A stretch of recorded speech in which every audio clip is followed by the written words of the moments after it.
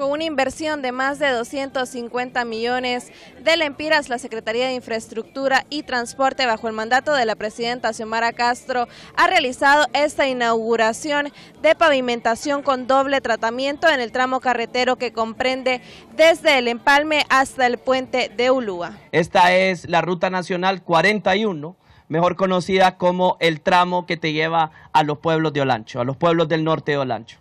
Este proyecto, señora presidenta, tomó más o menos unos 25 meses en ejecución. Es un doble tratamiento superficial, 18.3 kilómetros.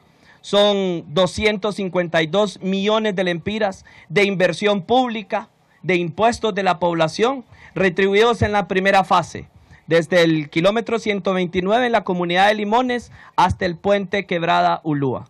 Este proyecto, presidente, es la fase 1 de este anhelado sueño que va desde Limones hasta Mame y poderte conectar con toda esa zona productora de Lloro, Colón y sobre todo aquí en Olancho y conectarte con la zona centro del país. Hoy estamos iniciando, inaugurando esta, esta carretera tan importante, pero especialmente eh, mencionar que esta es la primera etapa que estamos realizando. El próximo año vamos a realizar la segunda etapa, que es desde aquí de Pozo, eh, del puente de Ulúa, perdón, de Pozo Zarco, hasta llegar al hospital.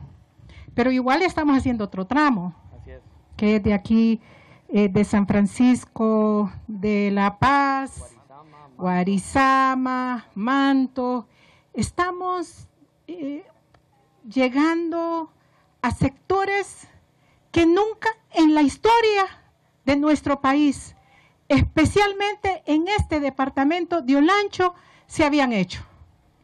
Compromisos que anteriormente el presidente Zelaya los realizó y que fueron, eh, que no quedaron concluidos precisamente por el golpe de Estado y que hoy estamos cumpliendo la palabra de Él, estamos hoy cumpliendo también con el pueblo eh, olanchano, con el pueblo hondureño, y que bueno, tenemos que demostrarle al pueblo cuando una mujer gobierna, cuando empeña la palabra, con esa palabra. Este proyecto reafirma el compromiso de la mandataria en el incremento del desarrollo económico y social de la zona, aumentando la movilización en estos tramos carreteros que conducen a centros educativos y atención médica en el municipio de Salamá. En cámara de edición de Osvaldo García para Noticias Noti les informó Rosy Urbina.